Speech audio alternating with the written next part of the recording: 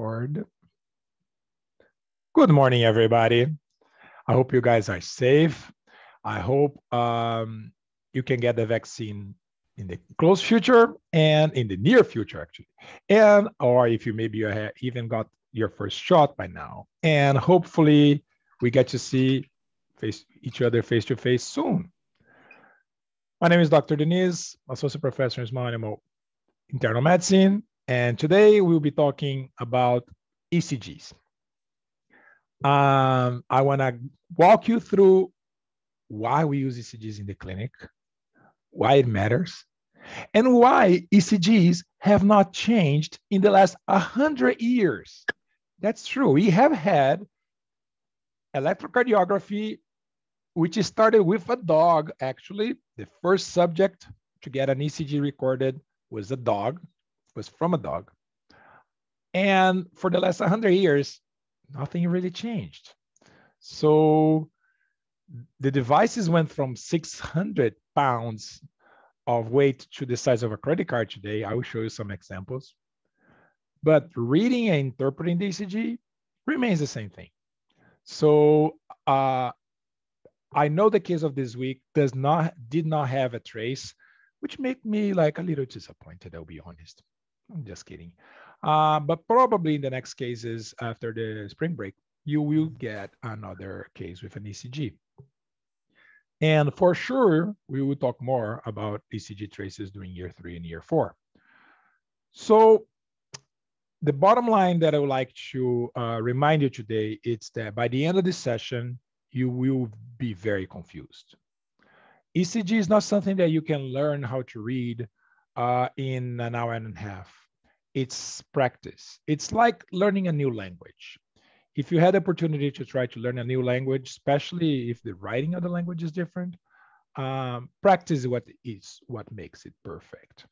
So ECG is the same thing there are plenty of resources available online. I created a little corner for our, for ourselves where I post good resources and examples and discussions, and I'm trying to make that a uh, not overwhelming area in terms of content, but have the best resources that can help you.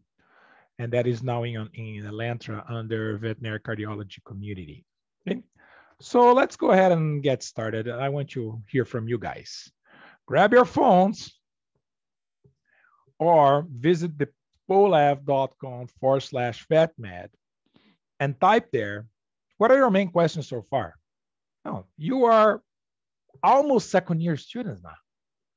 Between your first year of experience in vet school plus your many years of pre-vet experience, you probably have seen ECGs before. So let me know what you think. You can type the question there and you can upvote other people's questions.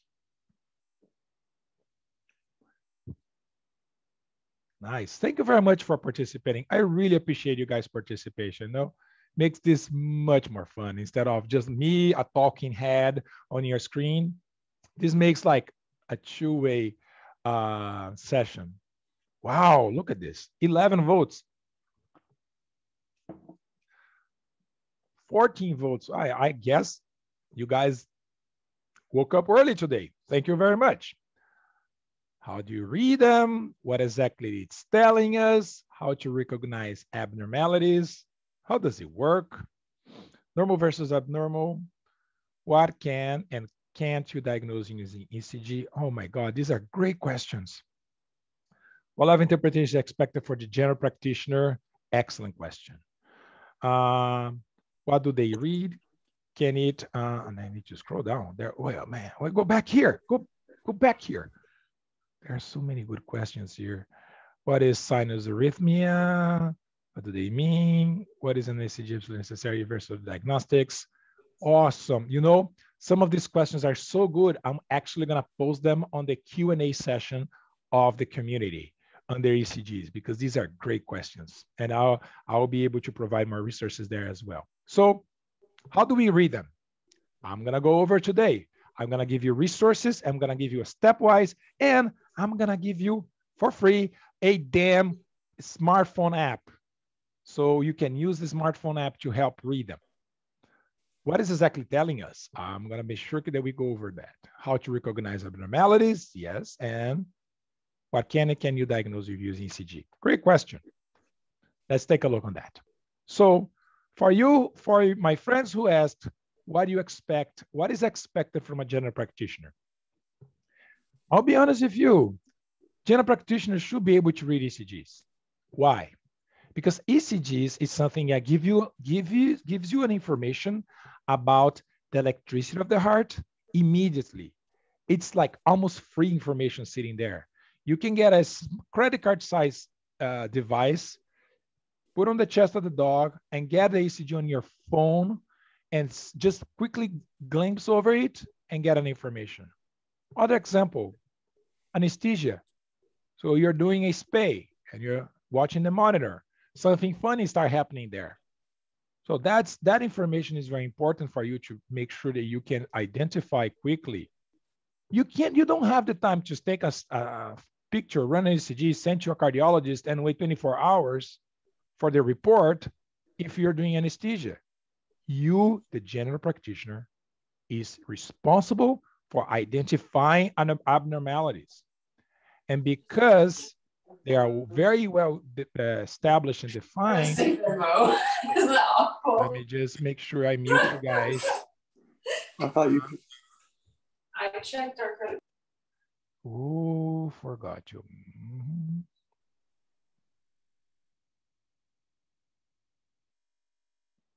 Mm -hmm. Let me see. Can you hear me? No, yeah, yeah. Okay, that happens. Don't worry. Because what was what I was talking? Yeah, because you as the general practitioner, you are primarily responsible for that dog or cat laying on the table doing a spay. If something bad happens on the ECG, you are responsible for reading that as well. If your RVTs can get trained, perfect. But that's important. That's a good example. Okay. Uh, we, I want to hear more about examples from you guys on my next slide.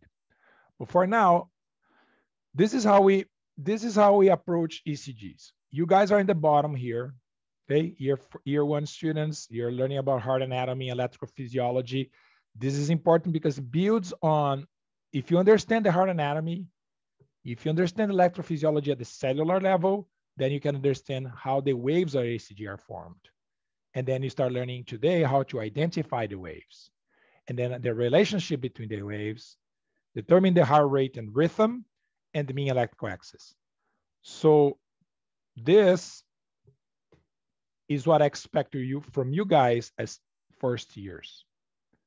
Now, when you when you move to a second year level, then you have you learn more about um, analyze the wave morphology, identifying the specific arrhythmias, and then by year three we will be talking about specific therapy. Okay, so what is the take-home message here? You're not going to leave the session today knowing everything. It's impossible. But if you understand that this is a three-year three-year journey in learning more about ECGs, and you can pace yourself and practice and be proactive, be proactive in looking up uh, content, you will do great. So you guys asked for when we when we should do an ECG. So I want to hear from you first. Where should I ask for an ECG? I gave you some examples. Give me more. Give me more examples on when we should do an ECG. When we have an arrhythmia, great. What is an arrhythmia? When the heart is not in rhythm.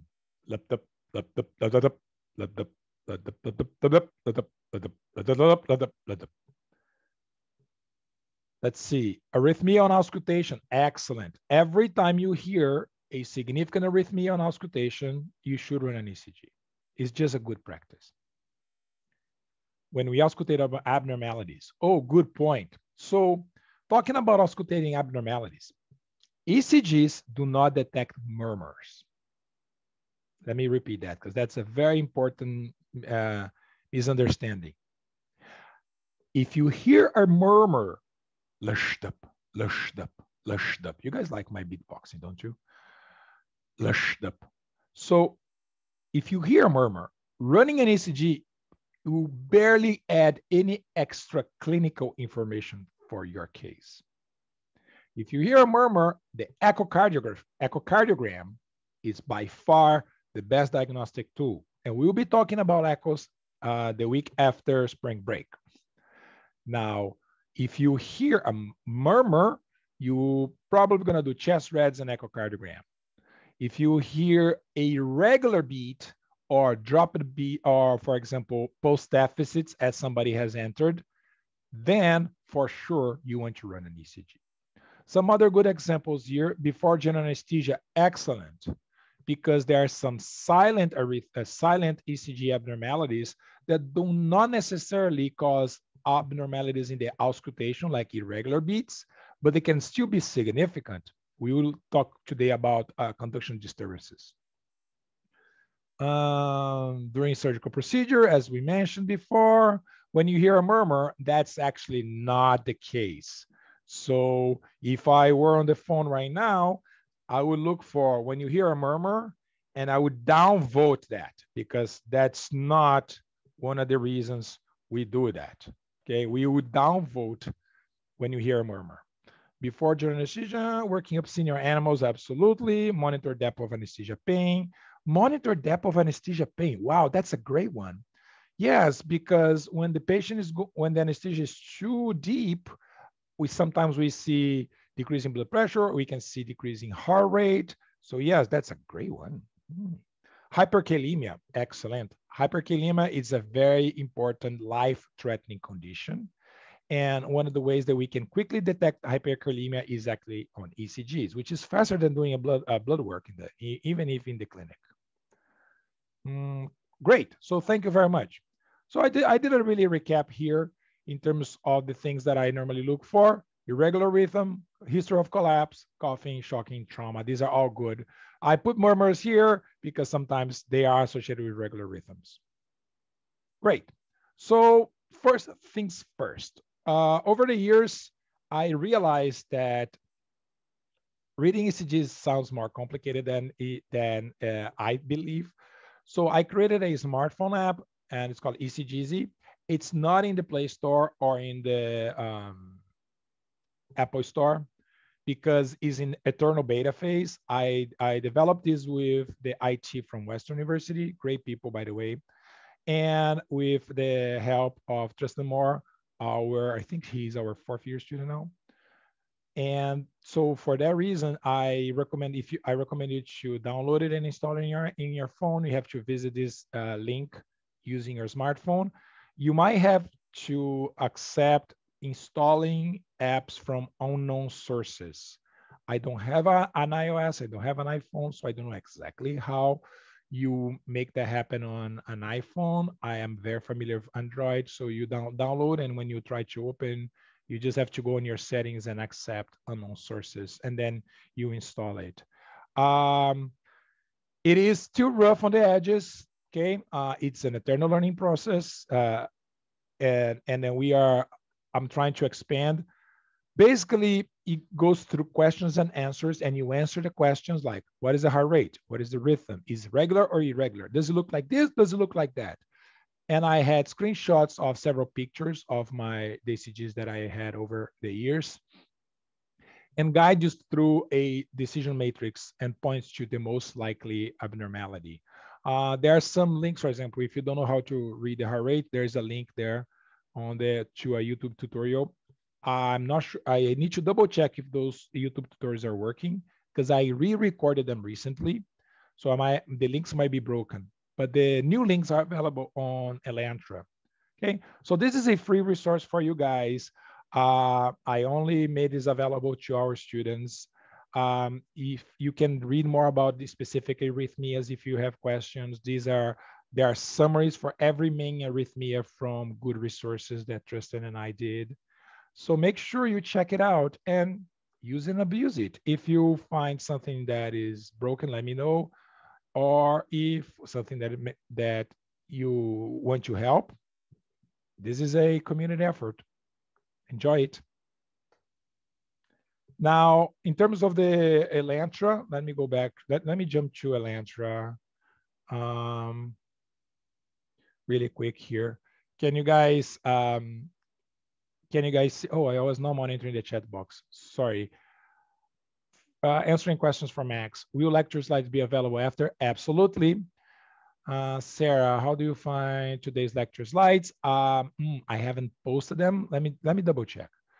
Uh, so if you go to the Elentra website, I'm getting better in making the layout looking good.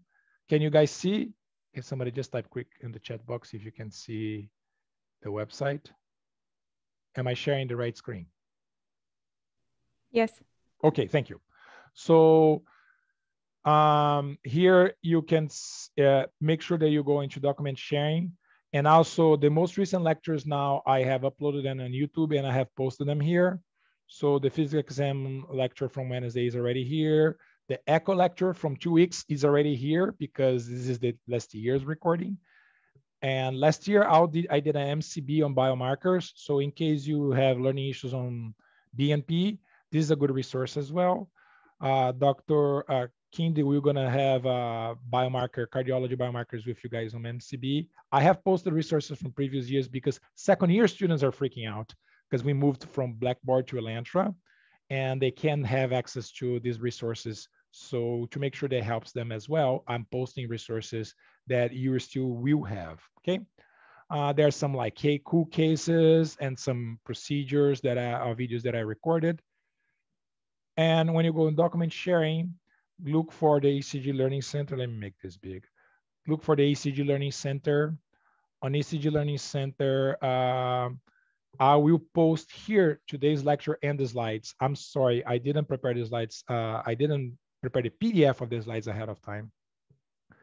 Uh, but there, there are very other, there are several other resources that are very similar to my talk. For example, this quick approach we'll be talking soon, okay? So I uh, will make sure I post the video of today's lecture as well as the slides here for you guys. Would that be okay?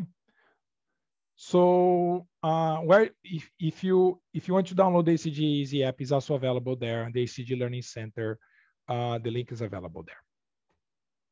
Okay, we talk about what to do is why we do ECGs, and just to recap. Sorry, I need more coffee. Just to recap, ECG is the only tool, only diagnostic tool that we have available in humans and animals where you can identify arrhythmias and confirm arrhythmias in terms of the origin and how they are happening in the heart. There's no other diagnostic tool that you pinpoint an arrhythmia so well at, in, and less invasive, let's put this way, than an ECG.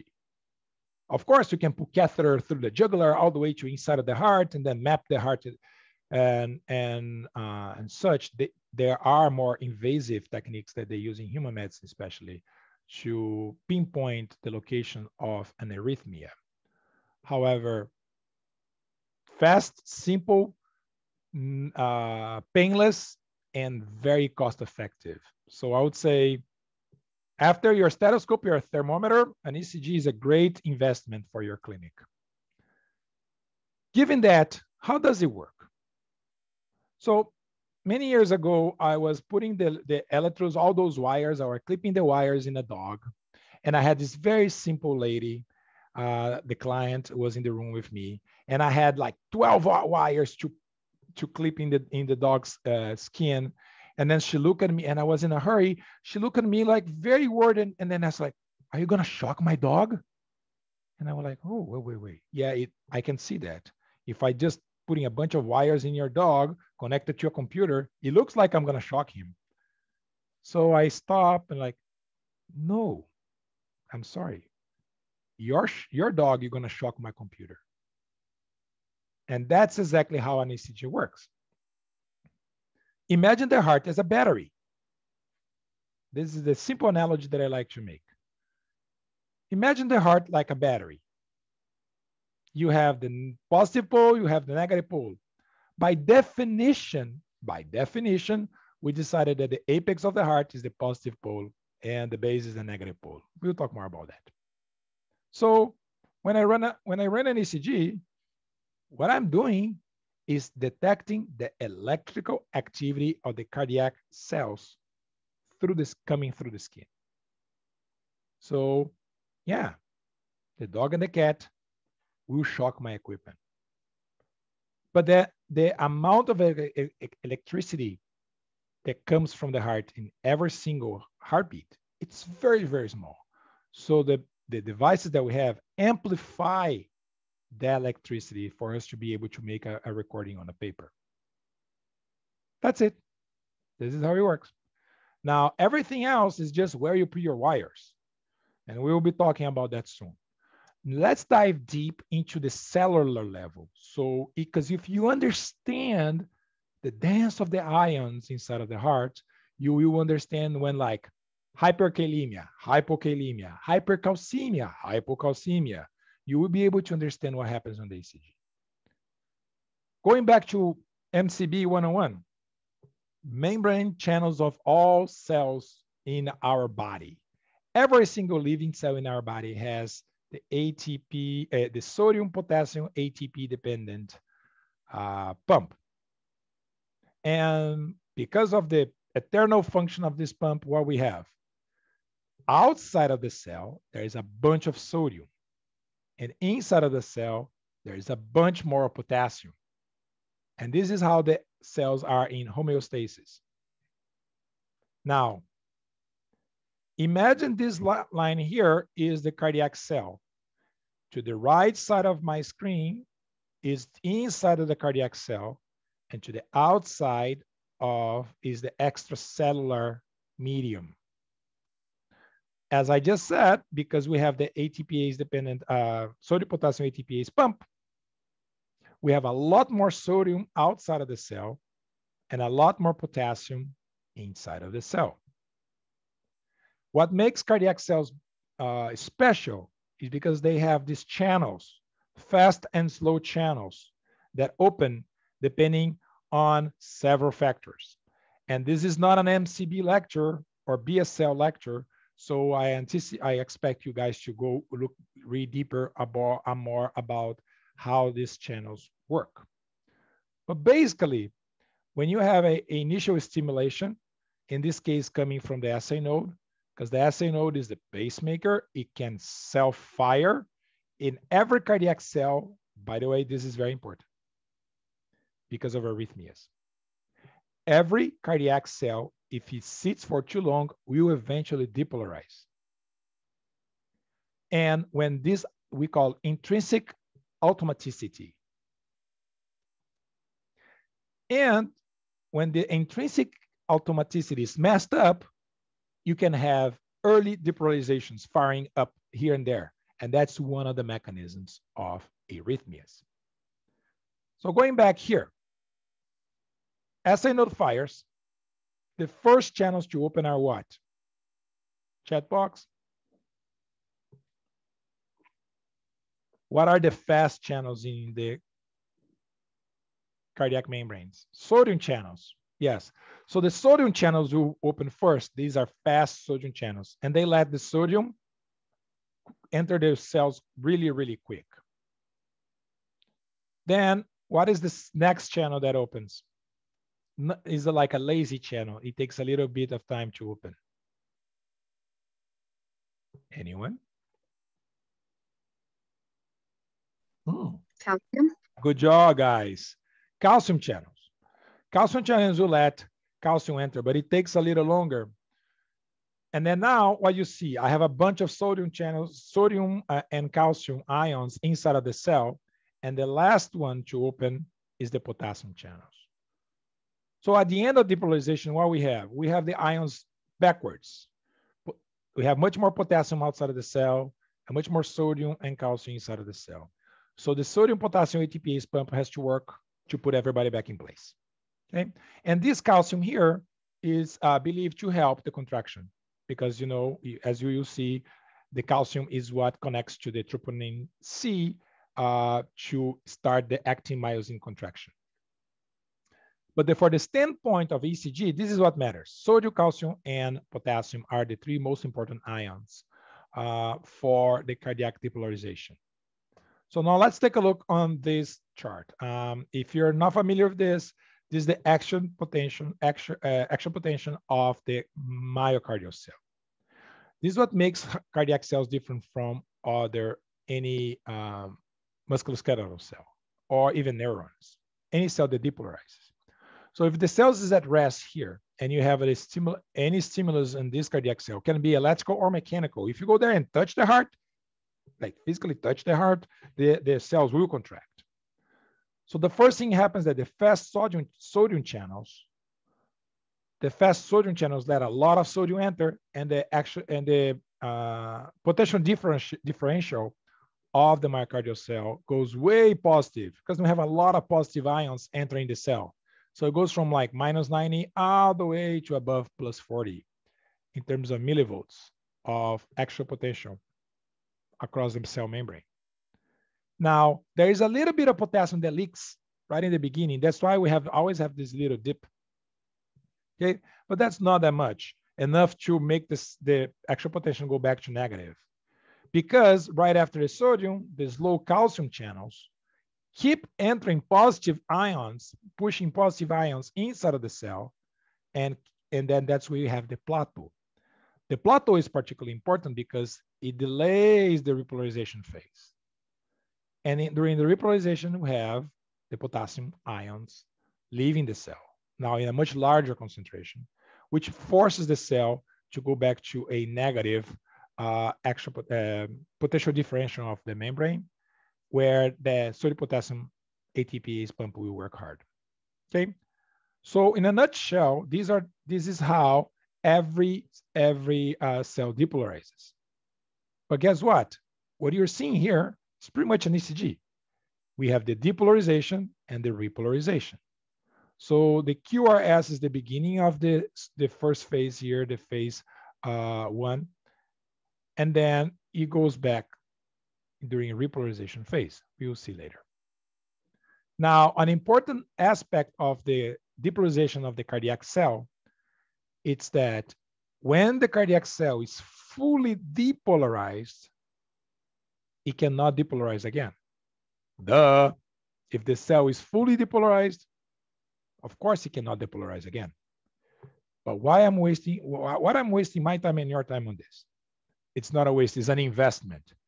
Because when the cell is going through its uh, repolarization phase, which is this one, depending on the intensity of the stimulation, the cell can fire again. But this is a bad firing. It's the cell is not ready. See what I'm saying? It's like you just woke up and you realize you're late for Dr. Diniz talk on ECGs. You haven't had your coffee. You you pop up Zoom. You keep your your your camera off because you are mass and you, now you have to hear about depolarizations and actual potential. Oh my God, I am absolutely refractory. But then after some coffee, after some time, you might be in the re relative refractory. You can start listening something, but you're not like fully awake.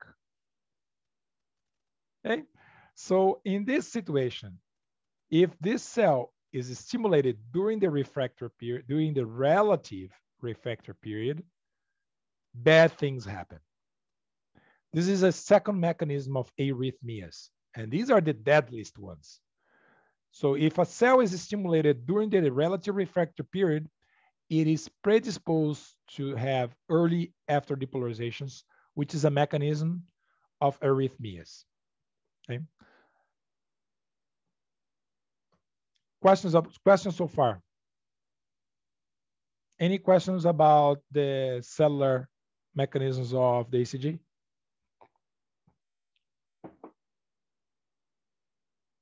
Are we good?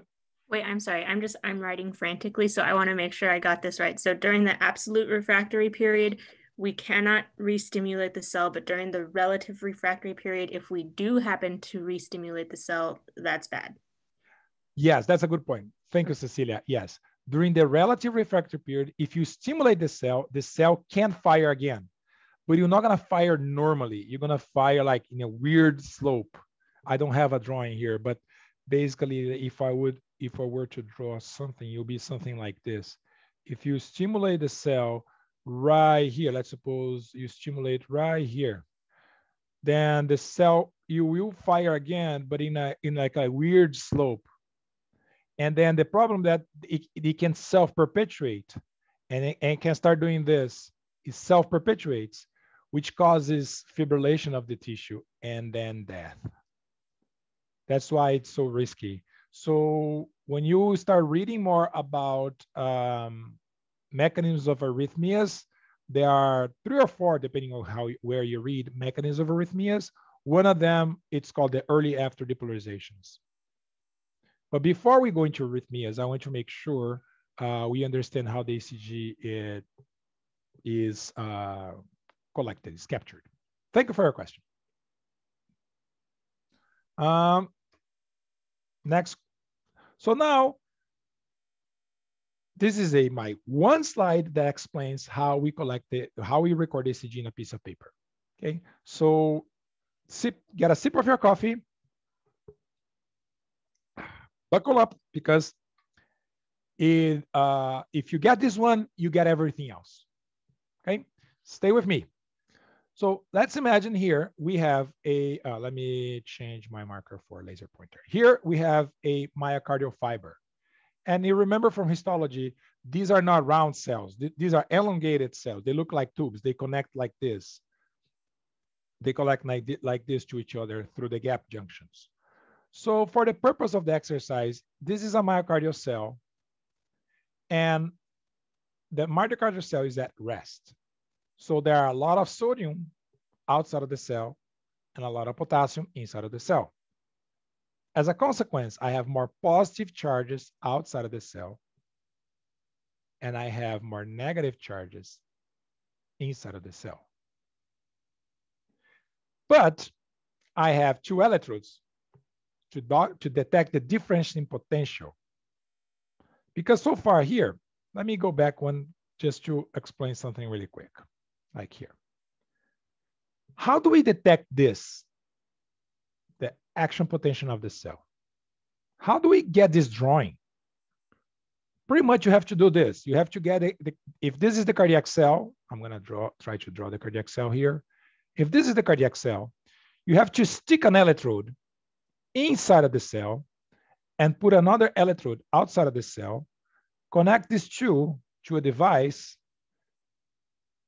and this device will tell you if it's positive or negative. And then you have like a dial that will show you if it's positive or negative.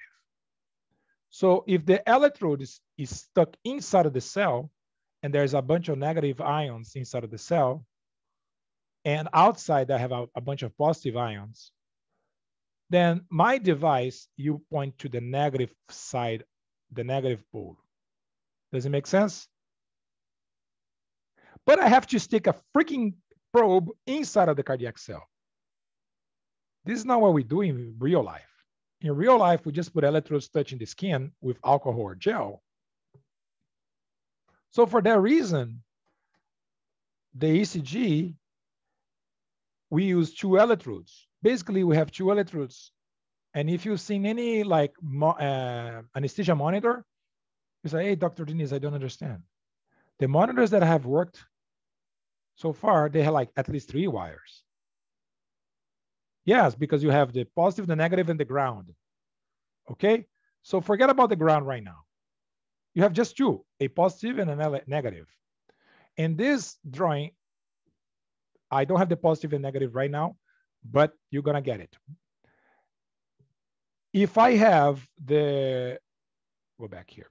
If I have the cardiac cell again at rest, and I have a bunch of sodium ions outside and a bunch of potassium inside. Now I have a more positive charges outside of the cell and more negative charges inside of the cell. I can't stick a probe inside of the heart. So I'm gonna do, I'm gonna put one electrode in one end of the fiber and one electrode in one another end of the fiber and compare the two. By definition, here's the point. By definition, I decided that my electrode reference is this guy here. So this guy here is the reference. And this is important. The electrode reference is what makes the, the ECG go up or go down. Why? If I compare the electrode reference with this electrode right now, this one sees a bunch of positive charges. This one sees a bunch of positive charges. Both are the same. What do I get? What, what do I get on the paper? I get simply a flat line because there are no differences between the electrode reference versus the other electrode. It's just equal, positive and positive. They are seeing positive charges. So I just get a flat line. Now, once I stimulate the cells, these things, now things are getting interesting. Sodium channels are opening, the fast sodium channels are opening. And then I have a rush of positive charges inside of the cell. And now one, but this depolarization is going from one end of the cardiac cell to the other end of the cardiac cell in this direction. So the depolarization wave, as we call it, is going in this direction here. Okay, so as a consequence now, what do I see? I see my electrode reference still sees a bunch of positive uh, positive charges, but the other electrode is now seeing negative charges. Because I defined the electrode reference being the one on the right, and I this one now sees positive charges versus the one that sees negative charges, I have a positive deflection upon the piece of paper. But this is pure by by def, by uh, convenience. I define this the electrode on the right one to be the electrode reference. Now, question so far. Are you with me? Okay, let's keep going. Now, guess what? The cell is fully depolarized. Now I have a bunch of sodium and calcium ions inside of the cell. And the potassium, I have more negative charges outside of the cell. By definition, my electrode reference is the right one.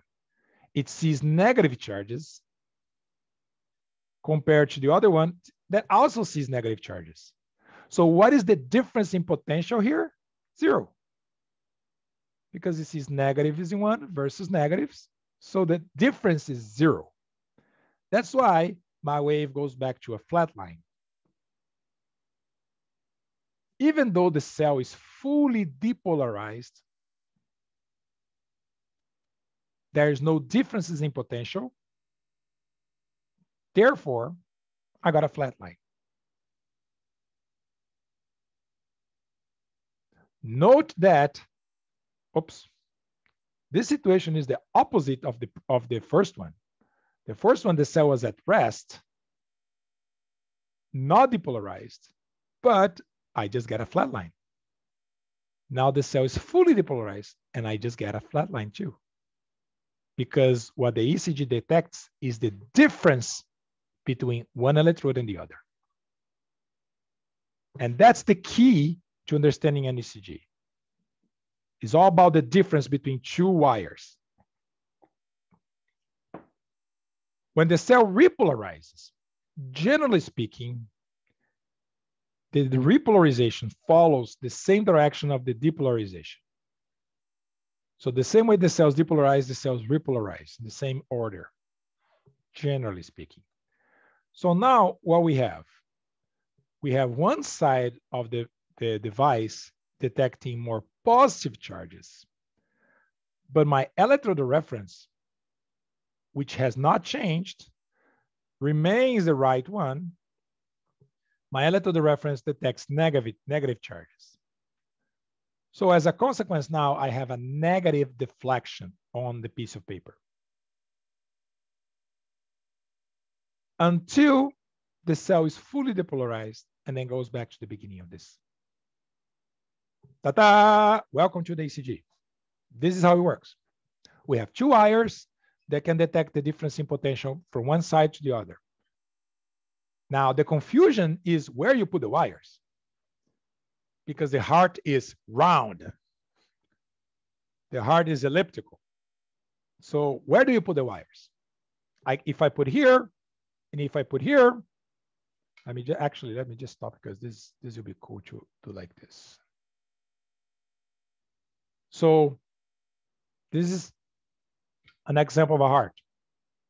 If I put the if I put one wire here and I put the other wire here, I will be seeing the difference from the right side of the heart to the left side of the heart.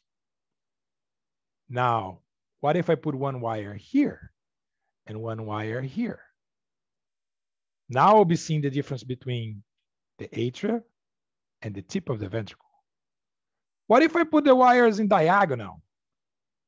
I will be seeing I will be seeing the difference in potential from this side of the heart, which is like right atrium to left ventricle, and so forth. So the confusion, people get really confused on ECGs. It's because they don't understand where you're putting the damn wires. As long as you understand where the wires go and which one is your electrode of reference. Okay, 99% of the time we work on lead two. And lead two is right shoulder, which is here, and left leg, which is right here. Why do we use lead two?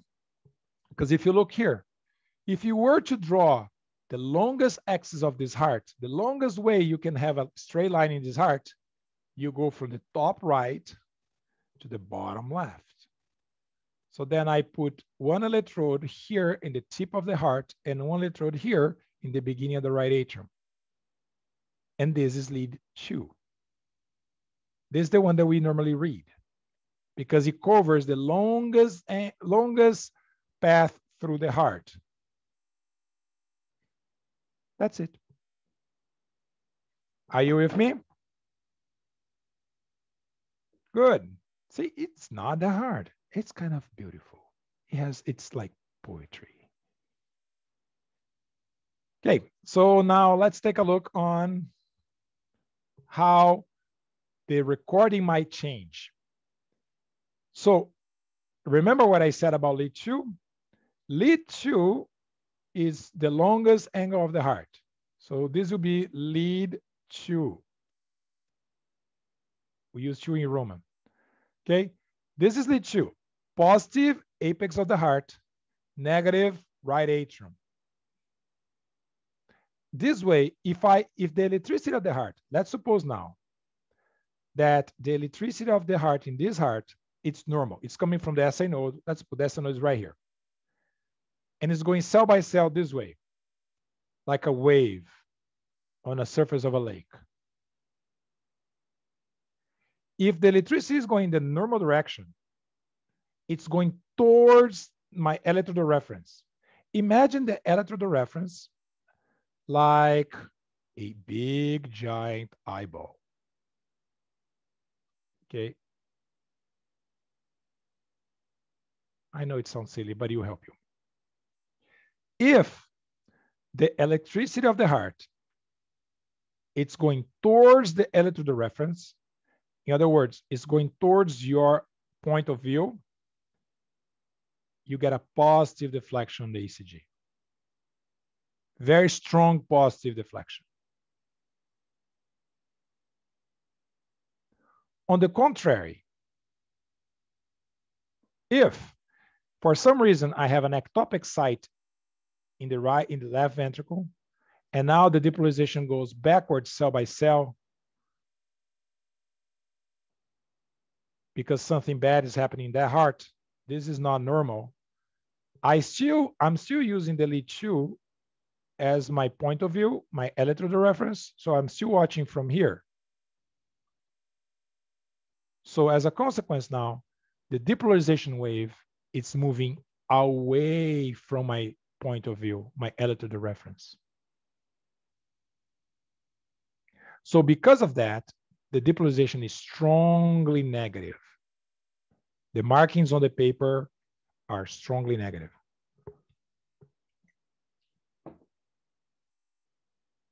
Still with me? Give me some hand signs. I know you're busy writing. Yeah. Now, what happens if for some reason, now let's suppose this is a boxer and boxers like to have the arrhythmogenic right ventricle boxer cardiomyopathy, which pretty much they have arrhythmias coming from the right ventricle, right here. This is the right ventricle. Oh man, I hate when that's horizontal lines happen. They were behaving so far. Let's try again. Right here. Okay. So now the depolarization is going cell by cell in this angle. But I am still watching from my electrode reference. I have not changed my electrode reference. Remains in the ape in the tip of the left atrium. Oh, sorry, left ventricle. So now the depolarization wave is perpendicular to my angle of view. So what do I get? Get you get a blip on the radar. Sometimes the same amount as neg positive is negative. We call isoelectric. You get an isoelectric depolarization. It's not positive, it's not negative, it's halfway through. If you see an isoelectric depolarization, it means you're 90 degrees from the real angle.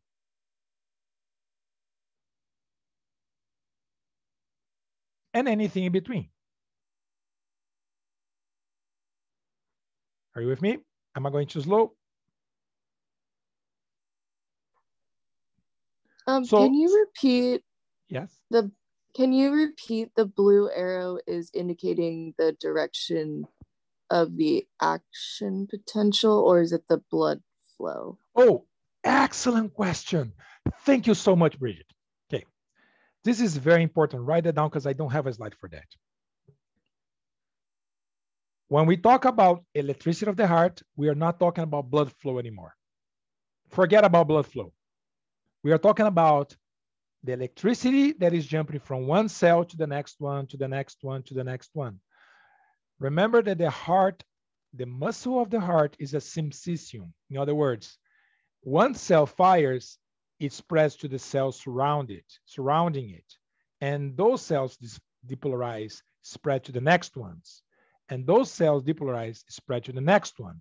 So as if you throw a uh, stone on a lake, what you get, if this cell here fire, the cells around you will fire, then the next ones will fire, then the next ones will fire, and so forth. It creates this wave of electricity or wave of depolarization. And what do we, the blue arrows here, what the blue arrows mean, and let's suppose in this example, let's suppose this is the limit of the heart. So the waves cannot go further. They can only go between the, the black line and the bottom of the screen. So if you go back to college uh, physics and remember vectors, the final vector is the blue line. So all you're seeing here, the blue lines, the blue lines are the final vector of the depolarization wave. Um, there's a question on the chat box from Max. I'm trying to relate this slide to the previous slide. The electrode reference is positive. Yes, perfect. Thank you very much. By definition, we decided that the electrode reference is always the positive one. So now on, every time you see a drawing of, of the heart on the ECG, if you see the positive electrode, that's the electrode reference. Who made a decision? Not me, don't blame me. Probably was Einthoven, the guy who invented this 100 years ago. Are we good? Ask all your questions right now. Anything else that I can that I can help with this concept? Thank you, guys. Next slide. Okay, now there is a little complication in terms of the conduction of the heart is that here I show you the waves as if they go cell by cell all the way from the SA node to the apex of the heart. But we learn in anatomy, there is the slow conduction, which is cell by cell, and there is the fast conduction through the conduction system of the heart. Think like this. Uh, can you go from here to LA on surface streets and never get into a freeway. If you're in Pomona, if you're in the Inland Empire, can you get all the way to LA and never hop into a freeway? Probably yes. How long are you gonna take? Hours. Now, if you if you jump into the freeway and during the pandemic the freeway is not as crowded as before, chances are you'll be able to reach LA downtown faster. The heart is the same. You can the electricity can go cell by cell, like I, I described it earlier here, can go cell by cell, but is a slow process compared to the conduction system of the heart, which is a pretty much a freeway for the electricity to reach farther into the into the heart, around or across the heart. Okay, so let's see how much you guys remember of the conduction system of the heart, if any. So grab your phone and rank the options. You have to you have to touch, hold, and move them up and down for you to see how they are how they are ordered. Let me see.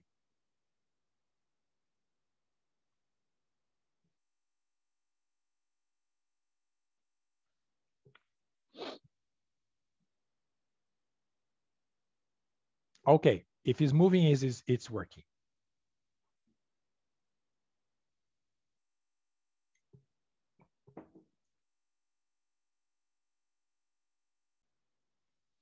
Okay, let's take a look. First one, no brainer, top of the right atrium is the SA node. Second is, is in the between the atria and the ventricles, right in the middle of the heart. So that is the AV node, atrioventricular node. Third is the little piece of conduction system leaving the AV node is the bundle of His. Now, bundle of His splits into the right bundle that serves the right ventricle and the left bundle. So four is left bundle. But fifth is not right bundle because the and this is important. The, as you can see, the left ventricle has more number of cells, more cardiac mass. It's just bigger than the right ventricle. So if you have more muscle, you have you need more nerves. Think like that. So the left bundle splits in the anterior fascicle and the posterior fascicle. So the number five here is the anterior fascicle of the left bundle and number six is the posterior fascicle of the left bundle because they will take the electricity from the AV node and deliver to the uh, left ventricle cells through the Purkinje fibers. So number seven here is Purkinje fibers. And number eight is the right bundle that's, that serves the right ventricle. Okay? So why it's important to understand the conduction system of the heart? This is not just like anatomical details, footnotes that we only ask to mess with you guys and you're never gonna use as a clinician. As I told you last Wednesday, I had I made a promise that I only bring content that is clinically relevant, that you will see cases in your professional life when one of these things are messed, messed up. So can I have disease of the SA node? Yes, sick sinus syndrome. Sick sinus syndrome is when the SA node is sick. Can I have diseases of the AV node? Yeah, AV blocks. Can I have diseases of the conduction system of the heart? Yes, we can have blocks. So for example, you have a left bundle block and the ECG looks weird. The right bundle block and the ECG looks really weird, upside down. You can have a left anterior fascicle block, especially common in cats and that the ECG looks upside down. So understanding the conduction system of the heart helps you understand when the ECG goes crazy.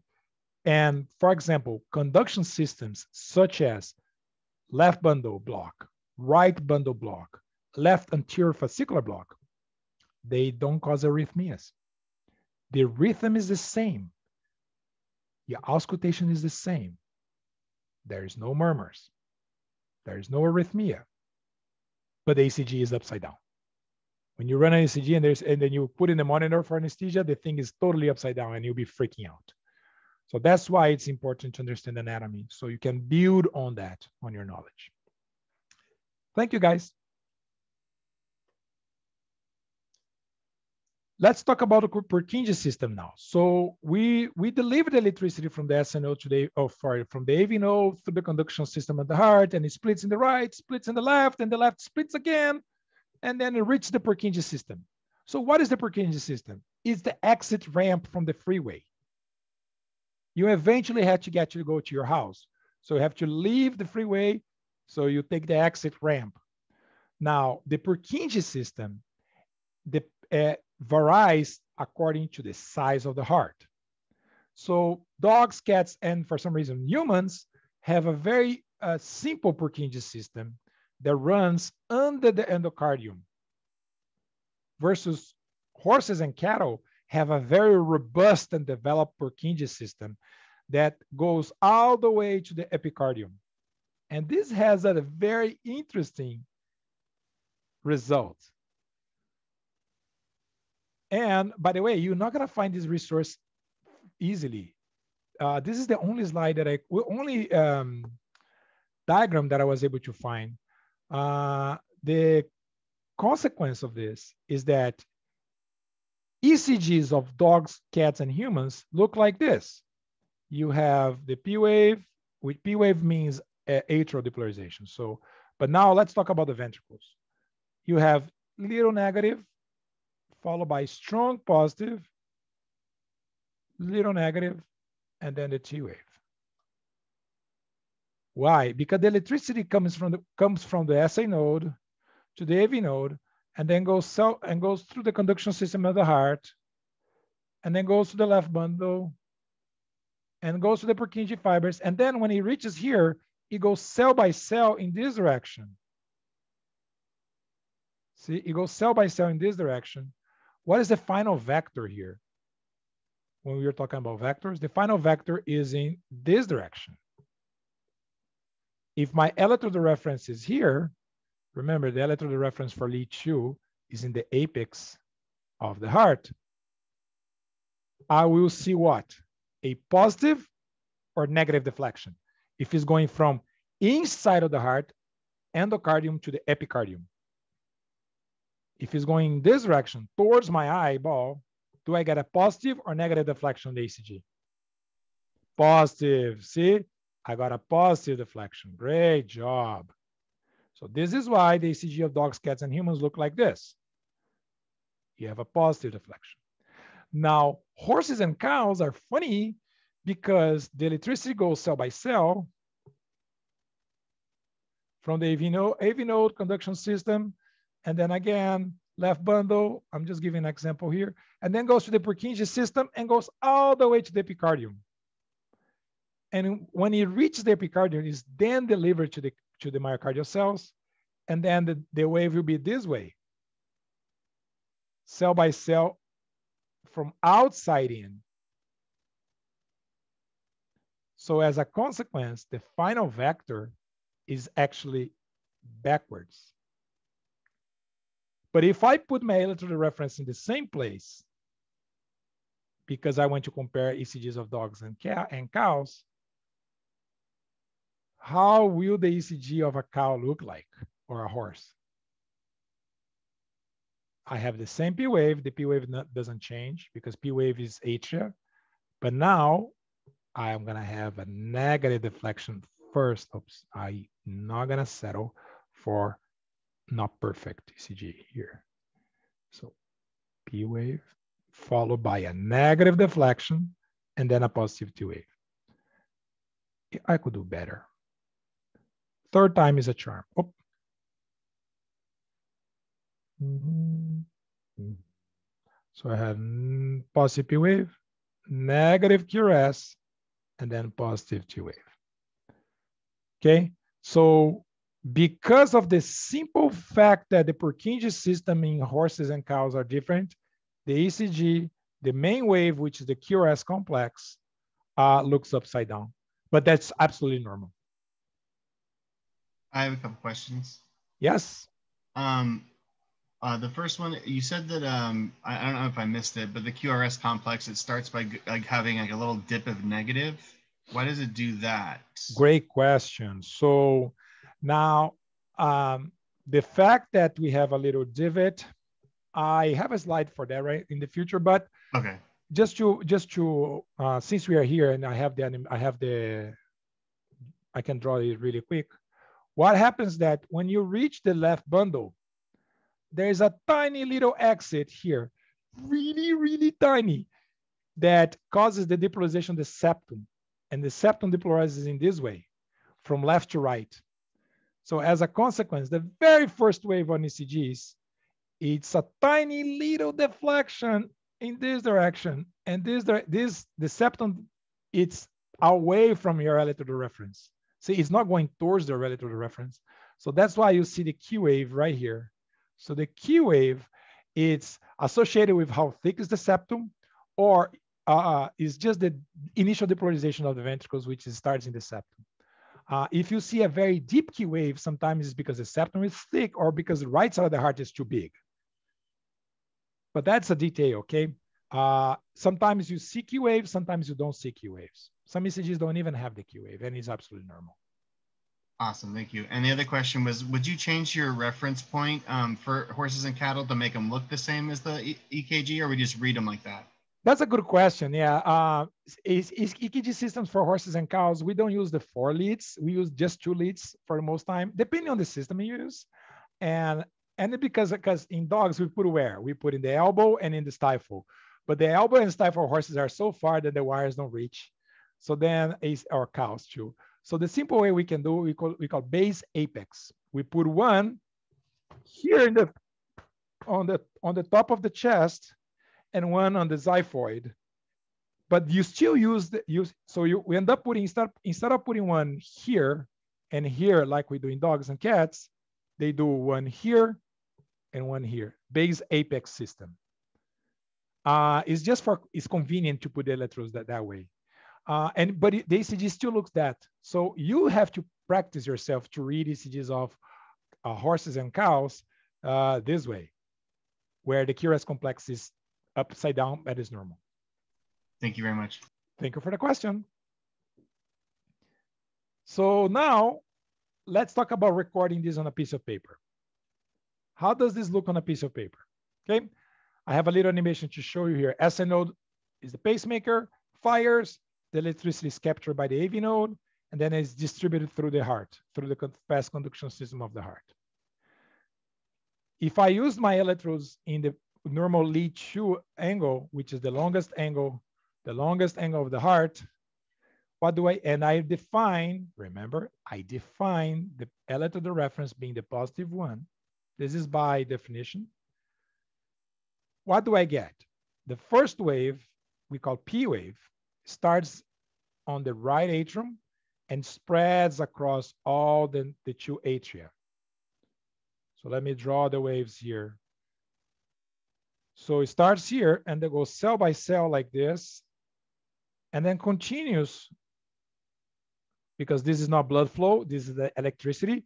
It goes through the interseptal, uh, inter, interatrial septum and, and reaches all the way to the left auricle, which is from somewhere in the very far uh, left of the left atrium here. Okay, so this is how I have a depolarization of the atria. What is the final vector here? It's somewhere here. Would you agree? This is going towards my electrode reference. And because it's going towards my electrode reference, I get to see a positive spike. If it goes towards the electrode reference, I get to see a positive spike. But not too big, a tiny one. Why it's not big? Because the amplitude, the amplitude of the waves directly correlate of how many cells you have firing together. So if you look on the, on the, on the anatomy of this heart, which chambers have more cells, the atria or the ventricles?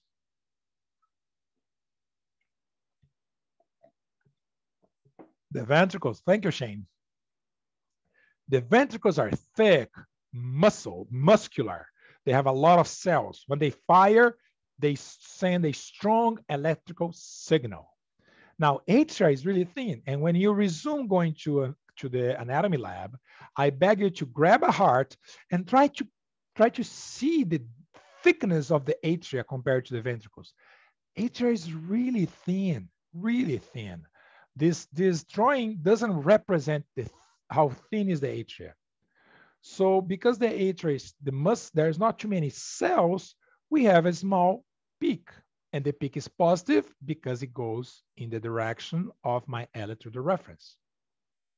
Now, the next step is when nothing and everything is happening. It's, it's funny. Bear with me. So the next step is when the AV node captures the electricity from the SA node.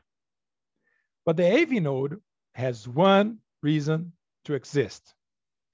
It captures the electricity from the SA node, holds on it for 80 milliseconds, 60, 80 to 100 milliseconds, and then shoots it to the ventricles, to the, to the bundle of His. Comes back and just waits for the new one. Waits for a new depolarization, grabs it, hold on it, 100 milliseconds, send it to the bundle of His. And that's it. And why you, me, dogs, cats, horses, every mammal has AV node. Because you need that little delay for the atria to kick and top off the ventricles.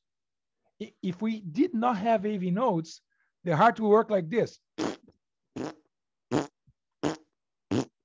You'd be very inefficient because you need atria kicking first and then ventricle kicking, like lup, lup, lup, lup, The only reason the atria and ventricles don't kick at the same time is because of the AV node.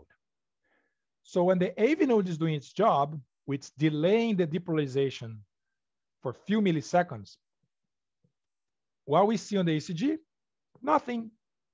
So what we see on the ECG, it's a flat line, this flat line right here. So the beginning of the P wave to the end of the Q of the QRS, we call the PR interval. And the PR interval is important because when we, we look into the PR interval to identify AV problems. So if you have AV blocks, your PR interval will be longer. Okay, so it's funny because like, it seems that nothing's happening here, but the AV node is pretty busy working on that depolarization. It's got looks like a maze. It, it, has a slow conduction inside of the node and goes makes the electricity go slow before it hits the band of His. Questions so far? Are we good? So next, oh, go ahead. Yeah, sure. I was going to say, so I know you mentioned that the the Q is a slight negative dip.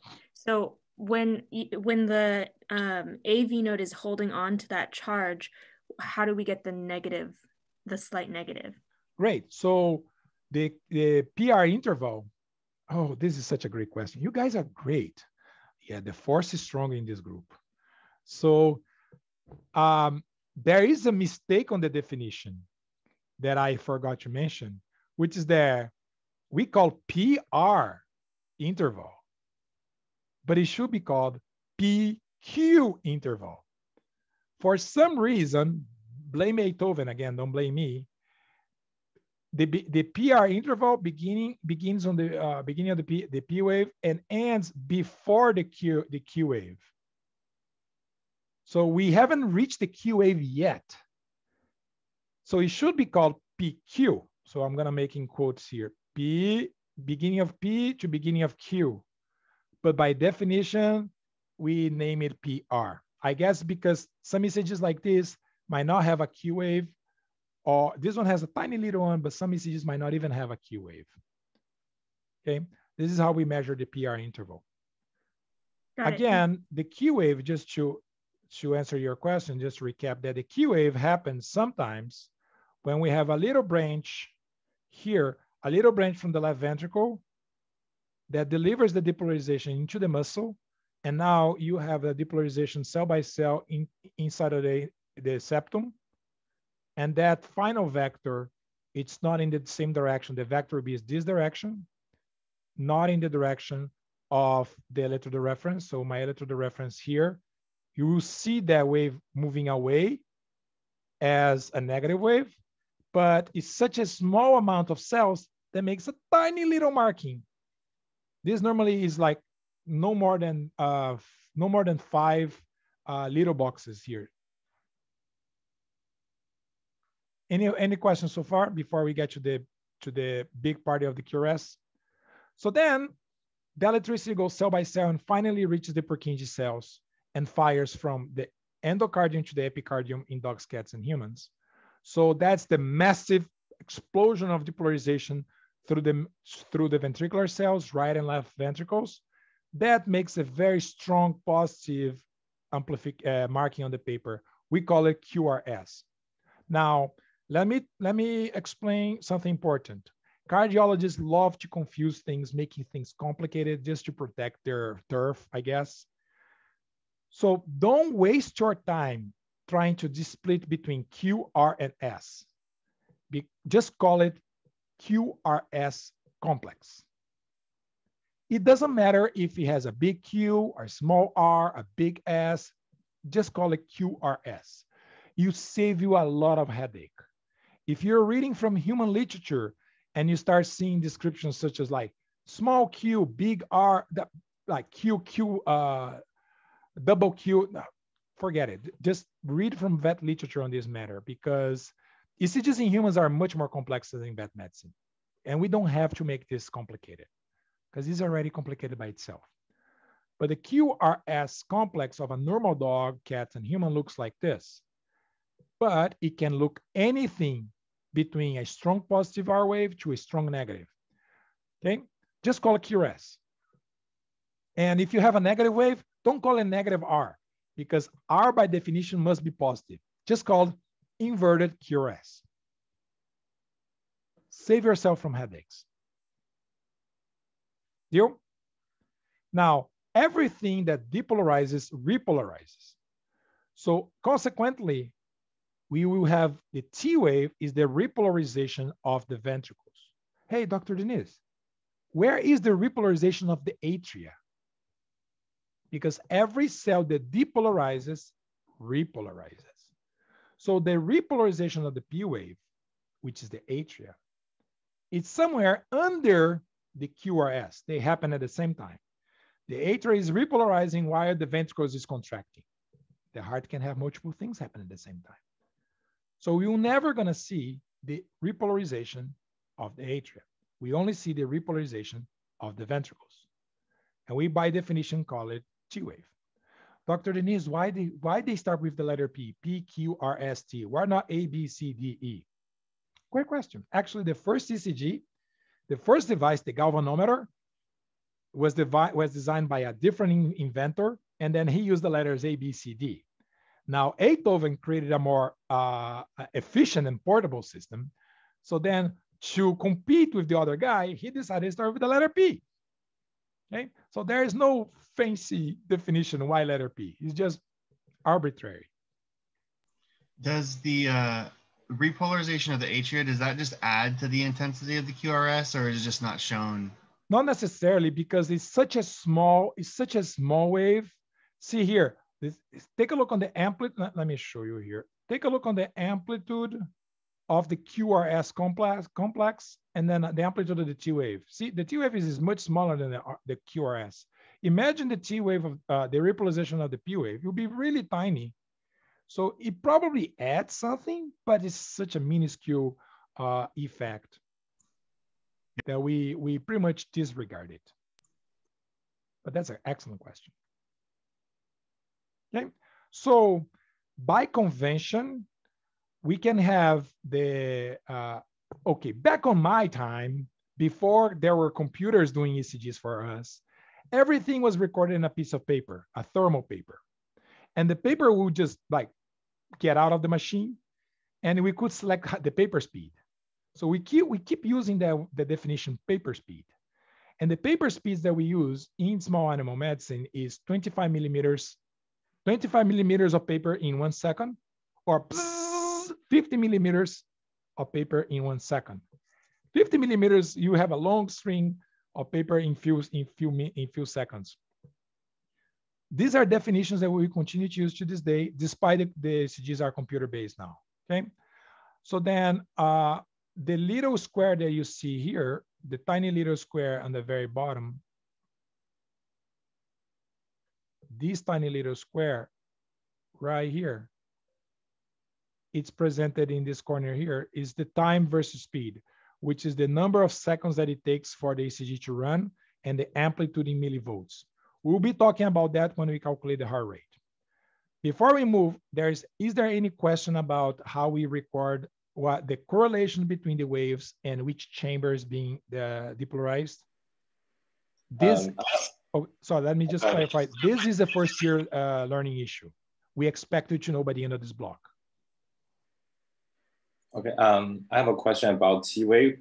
Sure. Uh, I, so that is the repolar, uh, repolarization of ventricles. So I thought the repolar, uh, repolarization process is just a reverse polar, uh, polarization process. So why is has the same direction of the QRS complex? That's an excellent question. Remember, this is uh, this the must the ventricles are not a single cell. They are made of millions and millions of cells that connect each other through the gap junctions. So when one cell repolarizes, the other cell will repolarize because it's in the order they were depolarized. So if the depolarization goes in this direction, for example, if the depolarization goes in this case from uh, because of the Purkinje system that we discussed today, if the depolarizations go from subendocardial to subepicardial, so in this, this is direct, this is the direction of depolarization. The cells take, they need time to repolarize. Remember, based on the action potential of the cell, the cell goes up, then you have the plateau, and then they repolarize. The repolarization is this phase right here. So the cells need that time because of the calcium channels, the slow calcium channels, before they repolarize. So the first cells to repolarize will be inside of the endocardium uh, or under the endocardium, and the last cells to depolarize will be the very tip of the tip of the heart under the epicardium. So they have the same uh, vector. They have the same vector repolarization as the vector of depolarization. That's why the T wave here is positive. Does it make um, sense? But it um, it has, I mean, it has a opposite uh, flow of charges. So I uh, yes, that's a that's actually a great point. Yeah, it does have the opposite flow of charges. And to make things a little more complicated, in, vetnet, in veterinary medicine, the T wave can be positive, negative, or biphasic. So I have had these great discussions with cardiologists why the T waves are positive or can be negative, and there is no clear answer.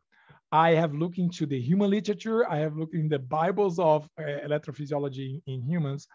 In animals, in vet animal, we can have a positive T wave or a negative T wave. It does not matter. So I'll be very honest with you. I gave up understanding the polarity of the T wave, and I no longer use that because no one in vet medicine cardiology looks into the polarity of the T wave. We look on the size of the T wave. If the T wave is really, really big, then there is associated with clinical problems. In human beings, if you go to a human hospital and you go there with a negative T wave and chest pain, they will diagnose you with myocardial uh, with a heart attack because a negative T wave in humans is associated is cause one of the causes is heart attack. But dogs, cats don't have the same thing. Dogs, cats can have a negative T wave and just be fine. So before we launch into this big, ginormous rabbit hole in vet cardiology, I, I ask you all, don't waste your time in trying to understand the T-wave uh, polarity. If it's positive, fine. If it's negative, it's fine. If it starts positive, if it starts negative and then goes positive, we call it biphasic. It's also normal. Thank you, Tao, for your question. It's an excellent question and congratulations. You got a question that I have no answer. Thank you. I am sorry, that's the reality. So somebody, Kelly asked about to explain more about the horse QRS waves are inverted. I will have to go back to that later, otherwise I'll not be able to finish though, is that okay? Um, this, this session is being recorded. I will appreciate if you could go back and visit that slide. And if you still have problems, just, just uh, email me, please. Okay, thank you. Now let's talk about positioning of the patient. Uh, can I do an ECG on the patient on the dog or cat standing? Yes, you can. Laying down on the right, sure. Laying down on the left, sure. On the client's lap, absolutely. However, if you want to do precise measurements, there is a perfect positioning that we call the standardized positioning, okay? Here's the perfect position of a dog doing an, on an ECG. You'll be laying down on the right side down, so right uh, recumbency, and the elbows and the knees or stifle, whatever you prefer to call, they should be, the back, the back is flat. See the hand here is helping make the, uh, the back flat and the legs are 90 degrees compared to the spine, making into like a rectangle and making into a box. And the electrodes should be located as near as you can from the elbows and the stifle and the knees, as long as you find a skin folder, a skin fold that you can clip. Because if you try right on top of the knee, sometimes there is no skin enough for you to clip.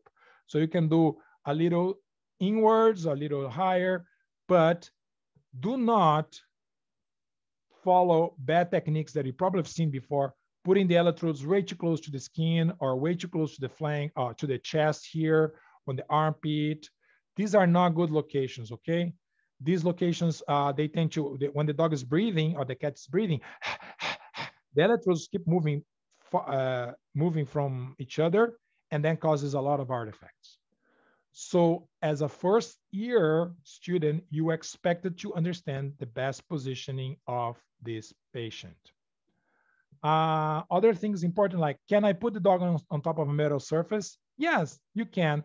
If you have a rubber mat, like in cardiology services, you might see them putting a rubber mat to separating the dog from the metal table just to get less artifacts.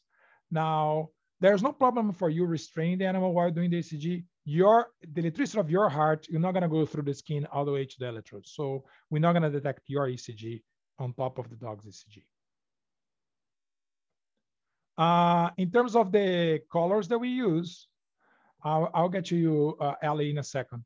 In terms of the colors that we use, be careful because if you decide to go abroad, you're going to get very confused. The US uses a different color system of ECGs compared to Europe and South America. So in the US, we use uh, the white on the right. So the white lead, the white clip goes on the right elbow. And then there are these acronyms that you can sing and memorize. Uh, pretty much the black is on top of the white, the green is in the back, and the red is in the left high limb. So we can say snow, which is the white, and grass is green are always on the ground, which is the right side. Uh, and if you Google, you're gonna find other ways. Um, is, is this important to know where to put the electrodes? Is this a first year learning issue? Yes, it is. Why? Because in emergency, if you put the electrodes in the wrong in the, the wrong colors in the wrong elbows, you might end up diagnosing wrong things and treat the dog incorrectly, dog or cat incorrectly. So it, uh, ignore this ignore these leads for now. These are precordial leads right in the middle. So just ignore these guys here for now. We will talk about them later today. Now let's talk about the cardiac system. Um, cardiac system, it's simply when we start moving wires because, you know, uh, the first physiologist who start playing with the ECG decided, ah, two wires is way too simple. I want to start moving my wires and see what happens.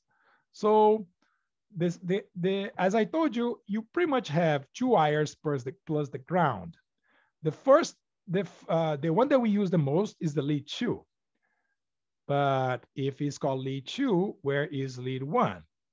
Lead one is from the right shoulder to the left shoulder with the electrode reference being identified by the arrowhead. So here's a little hint. When you see the arrowhead, let me put in blue. When you see the arrowhead, that means this is the positive electrode. And here will be the negative side of the electrode. So the electrode reference is always the positive. What does that mean? If this is my heart, and here is my right shoulder, because I don't know if the image is flipped for you guys. And here's my left shoulder. And lead one goes in that direction, right shoulder, left shoulder. If I see a positive depolarization on my lead one, what is the direction of my depolarization? Right to left or left to right? Right to left? Right to left. If the depolarization is going this, if the depolarization is going this direction, I'm gonna see a positive spike because it's going toward the electrode reference. If you understand this, you're gonna be great for the, for the rest of your career in terms of ECG, trust me. Now, uh, we can, we would like to look on the ECG, on the heart through a 360 lens. In other words, I like to look from, this is lead one. I'm looking from here. Lead one, right shoulder, left shoulder. Lead two, right shoulder, left leg. But what, but I want to, hear. I want to see from this side too. What do I do? I can use lead three. So lead three, it's right shoulder, left leg. This is why ECG traces have more than one lead. We have six leads because we can combine leads as well. And then when we combine shoulders with legs, we get an amplified vector of the foot. We call it AVF. Is that it show it will be like head to tail. If I combine other leads, I can have the amplified vector of the right and finally, the amplified vector of the left. Why do I have so many leads? It's just to confuse first year students and it works beautifully. Now, joke aside, if I have six leads, I can look on the, on the heart from any angle.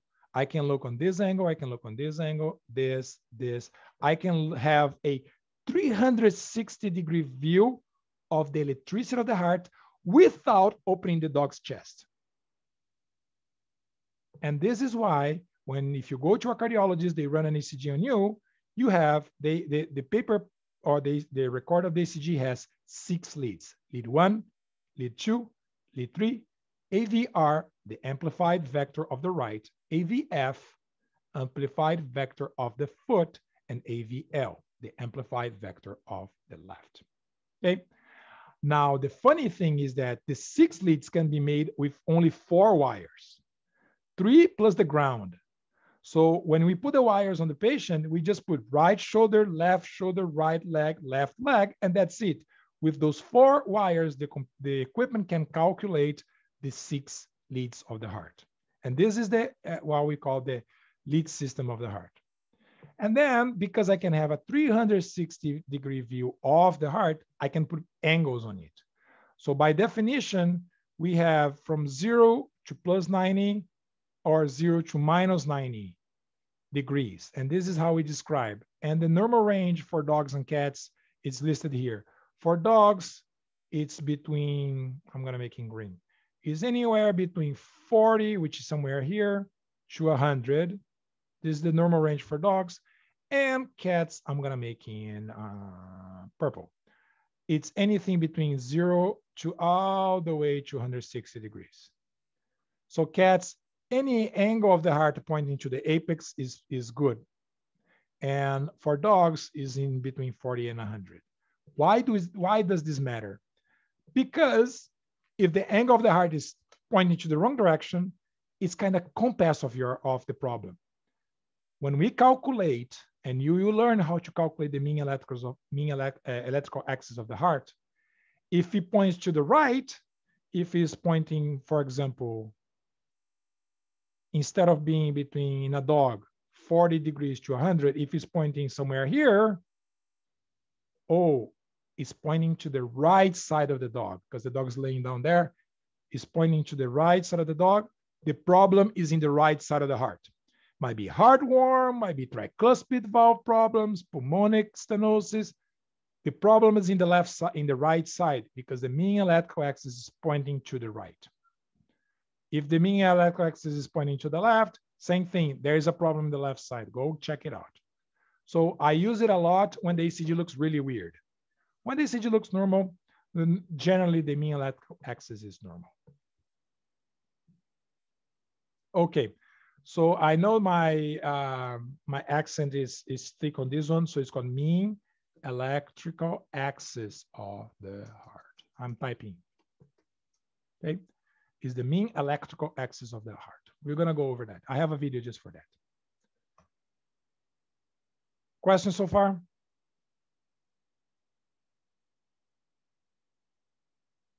And uh, by the way, Max, I appreciate your asking, okay? I rather prefer you guys to be blunt with me, like, I don't understand the word you were saying, Dr. Diniz. Can you type? Sure, I can. I don't take it personal. And my Dr. Diniz, I have a question. Sorry, real quick. Um, so all of the six uh, probes that we're using, we're making three pairs combined vectors, right? Yeah, we have four wires, but one is the ground. So we only okay. have three, and then we combine. So for example, all the ones that start with AV, it's a combination of two versus one. When you, if you read more about ECGs, you will see diagrams of that. I did not include it here because of sake of time. Okay, thank you. You're welcome. Thank you for your question. You guys have excellent questions.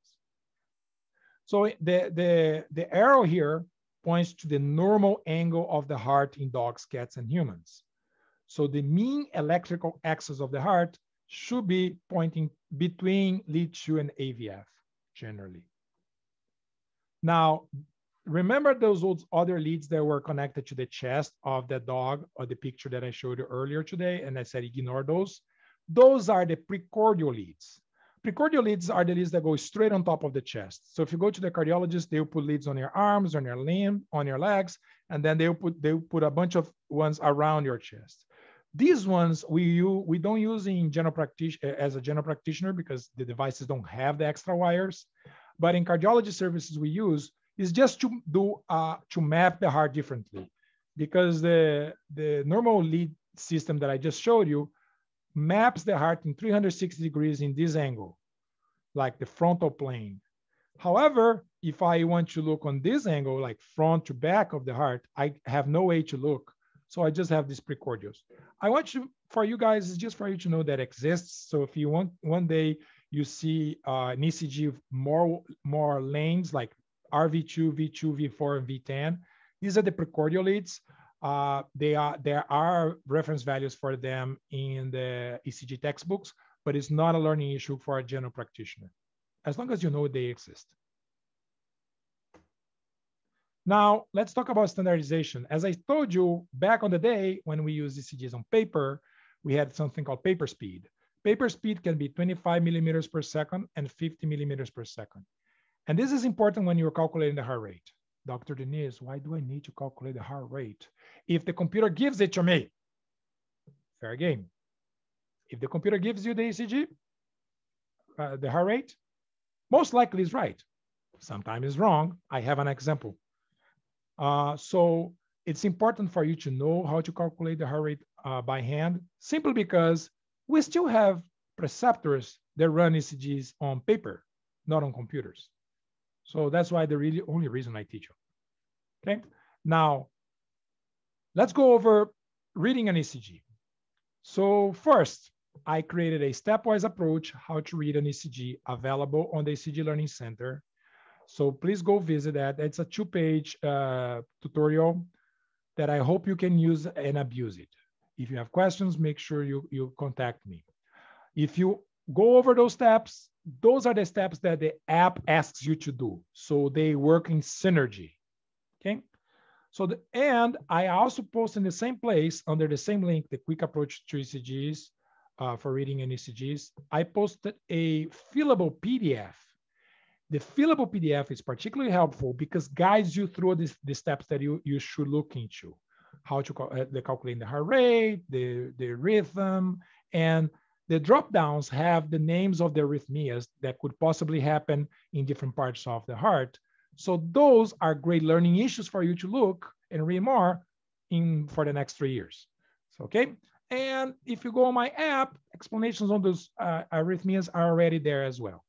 You just have to click in, read more about arrhythmias. So I will briefly explain how to calculate heart rate. Actually, I'm running, I'm running late. I'm gonna skip how to calculate the heart rate because I have a 15 minute tutorial available on ECG Learning Center in several ways how to calculate the heart rate, okay? I, I hope you guys can go and watch and rewatch. And if you have questions, please contact me. Calculating the heart rate on ECG is a first year learning issue. We expect you to know by the end of this block. Okay. Now, this next step is defining if the, the rhythm is regular or irregular. So there's no, there's no secret here. Eyeball it. Look on these two traces. Which one is the irregular one? Top or bottom? Bottom. Mm-hmm. So how do we define irregular rhythm? We just compare the distance between our waves. So this is an R wave, this is an R wave. So this is different from here, which is different from here, which is different from here. Now this one is pretty regular. See, it happens in regular intervals. If you have to measure the distance, you're being way too anal, okay? You should be able to eyeball it to call a regular or irregular. This is very simple. No tricks here. And now I give you some differentials of things that normally are associated with regular. Somebody asked in the beginning, Dr. Diniz, what is sinus arrhythmia? Sinus arrhythmia is the normal, irregular, uh, regularly irregular rhythm that happens with the heart when you're breathing. Sinus arrhythmia happens when you you inspire, you have a deep inspiration, the heart goes faster, simply because the negative pressure in your chest gets more negative. As you inspire, you pull blood more towards the heart, and the heart needs to pump faster just to get that heart, that blood moving. When you expire, less blood comes to your heart in the same, same rate, so then heart rate can slow down. This is coordinated by the uh, parasympathetic tone. So a sinus arrhythmia is something normal in dogs, but not normal in cats. Cats, are, if, if you see a cat with sinus, with pronounced sinus arrhythmia, most likely there is an underlying respiratory problem. Now we define the rhythm as, uh, if it's irregular, we define it as regularly irregular, like happens in sinus arrhythmia, or irregularly irregular, like in this ECG here, when you can never predict. So I like to call the irregularly irregular a random is a random rhythm. You can never predict the next beat. And that's something you pick on your auscultation. Now, how do I identify the waves? There is a trap. It's a trap. It's a trap. There is a trap on identifying uh, the waves on an ECG. Never, never start with the P wave because sometimes the P wave is not there. Sometimes the P wave is hidden. So first, you look for the QRS because it's the biggest, tallest, or the deepest wave on your trace. Always look for the QRS first. It if, if depolarizes, repolarizes. So then you look for the T wave next. I'm not gonna settle for less than perfect. So if it depolarizes, then repolarizes. So look for the T wave second. And by exclusion, whatever is left on your ECG should be P waves. So QRS first, look for the T second, and last should be the P wave. If you follow this, you, you, you avoid the traps. I made a video tutorial also how to identify P waves and T waves because sometimes they look similar. Sometimes they might be overlapping. Sometimes the P wave is not there. So you can have these three scenarios. P and T waves, P and T waves overlapping, or no P waves. And I made a video tutorial just for that, and I recommend you guys to take a look. It's a short and sweet one too. Now, the next step is identifying the origin, origin of the QRS complexes. No secret here again. Take a look on this QRS complex here, just the QRS from here to here. Does look weird to you? Does look like very, very weird? No, looks yeah, pretty normal. So if it's pretty normal, most likely the conduction of the heart is working well. So most likely comes from the atria. But cardiologists are fancy people. We don't say atria. We say above the ventricles. So we say supraventricular. So the word supraventricular is just a fancy, fancy way to say from atria. Somewhere in the atria. That's it. Now, take a look on these QRS complex. This is the QRS, and here's the T. This is actually the QRS, and here's the T wave. Does it look normal to you? No. So if it looks wide and bizarre, most likely comes from the ventricles. That's it. Why comes from the ventricles? because if it comes from the ventricles, it goes cell by cell and it goes backwards from where it's supposed to go. So then it looks upside down and really weird. Simple, I told you, there's no tricks here. Now, if you see the other thing to look, when you identify the P waves, you want to make sure that you find P waves consistently. If you always find a positive P wave, only two, then your rhythm starts with the word sinus. Sinus, rhythm. Sinus, arrhythmia. Sinus, tachycardia. Sinus, bradycardia. If you always find a positive P wave, only two, always you find a positive P wave, here, a positive P wave, only two, your rhythm starts with the word sinus. Now, if you don't find a P wave, only two, then you have few differentials to work through. But this is a second to third year level learning issue. The other step that we ask you is to look on the P waves and compare them to the QRS complexes, okay? So for example, you should be able to find one P wave for every QRS, another P wave for another QRS, another P wave for another QRS. And I recommend you to literally identify them all and make sure there is a one-to-one ratio. If you have more P waves than QRS complexes, there is a limited set of differentials that you will be looking for. If you have more QRS complexes than P waves, there is a different list for you to work. And clinicians have this uh, committed to their memories. So with practice, you'll be able to easily pick this, oh, I see more P waves than QRS uh, complexes. So I'm looking to AV problems. Oh, I see more QRS complexes than P waves. I'm looking to ventricular ectopic activity. As first years, you're required, expected to be able to identify the waves and match them. Okay? I'm giving you straight talk on what we expect to you because uh, we'll be asking you later. Now, the mean electrical axis is how to calculate the angle that I was talking earlier.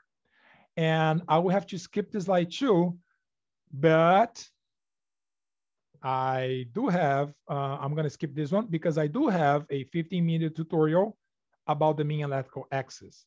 Mean electrical axis is not difficult, but for some reason can be confusing and it's one of the top one questions that I get from students is how to calculate it. So this is one of the first videos that I've made. I probably don't even have gray hair in that one.